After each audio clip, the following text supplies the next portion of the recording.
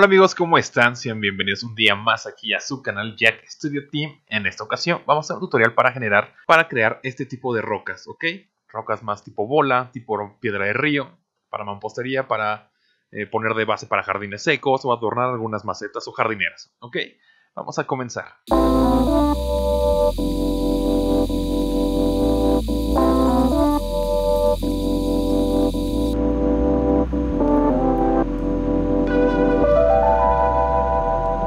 Muy bien amigos, para eso abrimos Cinema 4D y vamos a generar eh, una esfera. Nos vamos a ir aquí, creamos una esfera, ok, ahí está. Vamos a irnos aquí a mostrar y sombreado para ver las divisiones que tenemos, ok. Vamos a ir a las opciones que tenemos aquí.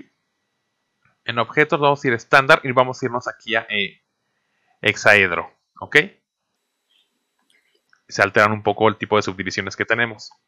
Y en segmentos vamos a bajarnos entre un 8 o 10, ¿ok?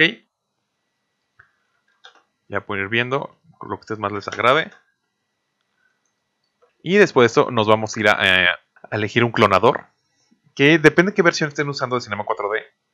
En, en R18, si no mal recuerdo, R17 estaba aquí directo. Ya puesto el botón. Pero si no lo tienen aquí a la vista, nos vamos a ir aquí y nos vamos a ir aquí a clonador, ¿ok? Este mismo dibujo en algunos eh, ya viene aquí por defecto. A ver si no, ahí lo tenemos, ¿ok? Vamos a este clic sostenido, arrastramos y así lo dejamos, ¿ok? Nos vamos a ir aquí a clonador. Aquí en ese lineal nos vamos a ir aquí a part, ¿ok? Perfecto. Y aquí vamos a eh, modificar este, vamos a irnos a 1 y vamos a la cantidad de segmentos, la cantidad de piezas que se clonan. Son las que nos interesan. Ahorita tenemos 3 y 3 en, estos sentidos. Son los X, Y, Z, ¿ok? Y aquí vamos a poder poner 15, por ejemplo, o 20. Y 20 de este lado, ¿ok? Por ejemplo. Ahora vamos a separarlos un poco. Vamos a tocar este puntito amarillo que está aquí. Para separarlos un poco y este puntito amarillo igual de aquí para separarlos, ¿ok? Casi que se separen un poco, pero que todavía se, toquen un poquito, ¿ok? Algo ahí más o menos. Perfecto. Vamos a dar un pequeño clic aquí, ¿ok? No clic sostenido, sino el mismo, el que ya tenemos por defecto, subdivisión de superficie. Muy bien, muy bien. Y Vamos a irnos eh, seleccionando este en sus opciones. Vamos a irnos a, aquí. Bueno, todavía no. Este que está aquí, vamos a arrastrarlo con la flecha que queda hacia abajo. Y listo, ya está por dentro. Muy bien. Ahora sí, vamos a irnos a eh, clic aquí, servicio superficie. Y aquí vamos a ponerle 1, ¿ok? Igual aquí. Perfecto. Y ya, ya no nos interesa tanto ver ahorita, ahora sí las divisiones están aquí, podemos irnos aquí a mostrar y regresar aquí, ¿ok? Vamos a generar una textura, doble clic aquí, este que está aquí, ¿ok? Y lo vamos a arrastrar y se la vamos a poner eh, aquí al clonador. Vamos a dar doble clic aquí. Perfecto. El color aquí podríamos eh, cambiarlo si queremos. Más oscuro, realmente no importa. Ahorita el tono. Así lo podemos dejar de momento, ¿ok? Y nos vamos a ir aquí a la parte de desplazamiento, lo vamos a activar, ¿ok? Y nos vamos a ir aquí a textura y vamos a irnos a, ruido, ¿ok? Si lo tuviera en inglés dirían a noise, ¿no? Ok, aquí en displacement y noise. Muy bien, vamos a dar clic aquí en el mismo ruido. Y, aquí nos vamos a buscar turbulencia, turbulencia, ok, aquí está, turbulencia ondulada. Perfecto. Nos vamos a ir a la escala global. Vamos a ponerle en un 1200 o 1500. Entre 1200 1500 ustedes vayan jugando. Más o menos es el resultado de cómo se va a ir, eh, transformar ahorita que acabemos estas mismas piedras. Vamos a dejarlo en 1500. Bueno, ustedes vean, desde 1200 a 1500 creo que ya se ve bastante bien. Nos regresamos aquí a desplazamiento. Y nos vamos aquí a altura, ¿ok? 50 centímetros, 70 centímetros. Y, ya lo podemos apagar ahorita. Y lo que vamos a generar es un eh, otro nuevo elemento. Eh, el Ese aquí, desplazador. Ok. Este lo vamos a arrastrar aquí en esta esfera.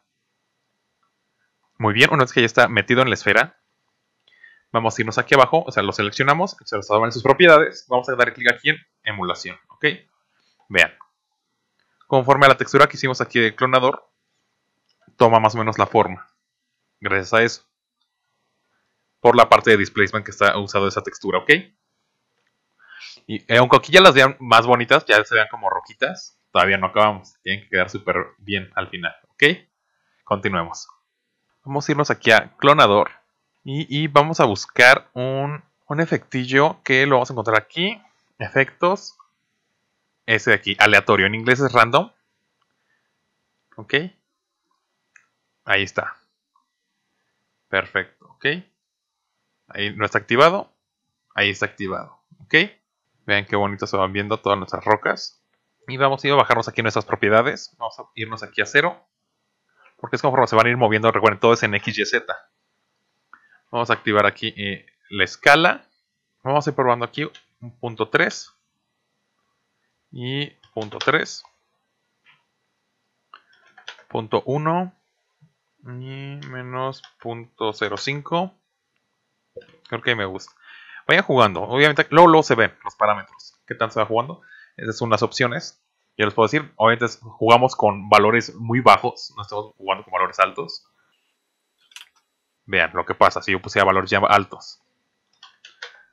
Para que tengan una idea más o menos de esta parte. Y vamos a activar rotación. Vamos a poner 60 eh, grados. Entre 40 y 60 grados en todos. Para que se muevan al azar, ¿ok? Todas nuestras piedras. Ya, ahora sí ninguna está en el mismo sentido. Ya no se ve repetitivo nada. Se ve bastante, bastante bien. Y, vamos a agregar aquí unos valores al azar de movimiento. Es cuestión de gustos. Esta parte podrían dejarlo ya como estaba, muy exacto. Si quisieran que fuera una jardina muy, muy exacta esta parte, pero ahorita van a ver cómo sigue quedando. Pero nada más para que vean qué pasa cuando mueven estos valores. Este de aquí no lo movemos, el eje Y, porque es hacia arriba. Y aquí podemos regresarnos aquí al clonador y irlos moviendo. ¿Ok? irlos pegando un poco más. Eso ya lo controlamos con la parte en el clonador seleccionado, ¿ok? Por eso me voy a alejar un poquito más. De nuevo. Y para eh, finalizar ahorita vamos a elegir un nuevo eh, efecto más, por así decirlo. Vamos a tener seleccionado aquí clonador. Nos vamos a ir a MoGraph, efectos y, y necesitamos ese de aquí, de apartar, ¿ok? seleccionado. Ok, para que vean la diferencia. Ahí está la diferencia. En inglés creo que viene como push apart. Pero bueno. Normalmente creo que si son latinos los van a tener instalado en español. Que es más difícil luego encontrarlos. Y ahora sí podemos poner tantitito aquí. Vamos a ponerle punto 2. Para que algunas estén un poco encimadas. Punto 4. Creo que me agrada así. Ok se ve, bastante bien. Y ya nada más si las quieren separar un poco más, con ese aquí, vean qué bonito se ve la parte animada, cómo se mueven. Y ahora sí, oficialmente ya podemos tener acabado esto. Ya les pueden agregar las texturas que ustedes quieran. Pero no es tanto, sino de aquí vamos a, ya saben que trabajamos principalmente en SketchUp, de aquí vamos a pasarlo a SketchUp, ¿ok? Y bueno amigos, ¿qué pasa? ¿Cómo lo, exportamos? ¿Ok? Ustedes pueden decir, aquí yo ya acabé, archivo, exportar, .310 que serían los formatos que podemos exportar para SketchUp o para 3 Max sin ningún problema.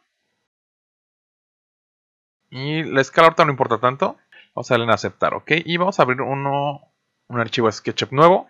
Ahí está, ¿ok? Vamos a irnos aquí a ver, eh, así lo de aristas y apagamos perfiles. Para que no pese tanto ahorita. Archivo importar, .310 y creo que son estas de aquí, ¿ok? Vamos a darle importar. Ah, quedaron gigantes. Bueno, no importa lo que decía, esto se puede escalar sin ningún problema. Pero ustedes dirán, estas no son las rocas que nosotros hicimos. En parte sí, en parte no, ¿ok? Sí, porque son una parte de, pero no están eh, todas al azar, como las dejamos aquí, ¿ok? De hecho, están como si yo apagara estos de aquí, así están, más o menos. ¿Y cómo hacemos para que queden con esa forma? Que estén todas ya al azar separadas para esto lo que vamos a hacer es seleccionar eh, prácticamente eh, todo. O de hecho no, solo es esta, seleccionar estas. Y nos vamos a dar clic aquí. Hacer editable.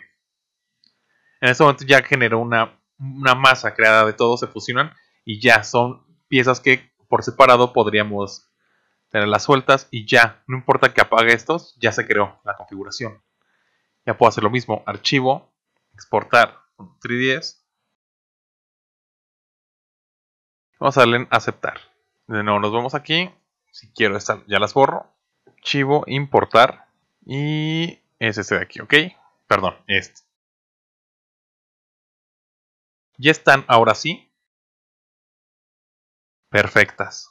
Ahora sí ya están como son. Y esas divisiones ustedes dirán, ay, no me gusta que se vean esa parte. Seleccionenlas todas. Clic derecho y eh, suavizar aristas. Ok, perfecto. Eso nos ayuda muchísimo ya en la parte de, render. Ya le metí un ligero anti-aliasing a todos estos elementos y hace bastante, bastante bien. Ya podemos hacer una composición ahorita.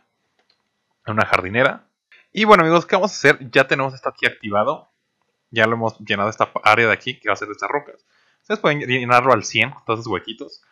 Pero ya me gusta esta que dice, vean, si ya vemos la perspectiva desde aquí, se ve súper bonito. ¿Qué vamos a hacer ahora? La texturizar, ¿ok?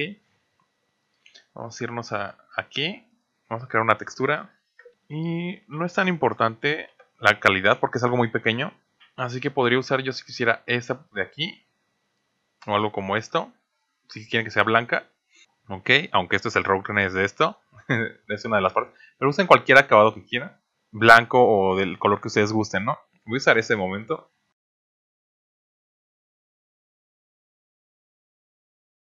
Ah, de hecho ya tiene nombre la textura. Ya nada vamos a sustituirlo mejor. Ok, vamos a ver este de aquí. Perfecto. Igual de este lado, que son dos texturas. Ahí está. Ya si quieren cambiar el tono. Si es para V-Ray, si tienen que la textura cambiarla desde afuera. Pero si es para Lumion, solo con que hagan clic aquí y luego aquí. O en una textura similar, se agarra el tono que ustedes quieran, ¿ok? Vamos a agregar y de fondo poner otra textura para que se pierda. Puede ser igual otra de piedra o un elemento natural, tierra, tierra con piedras. O igual más texturas de Lumen y solo elijan un color. Ahorita veremos. Por ejemplo, puedo meter algo como esta. Para que se pierda un poco. Y vamos a buscar nuestra vegetación, ¿ok? Y vamos a buscar nuestra vegetación.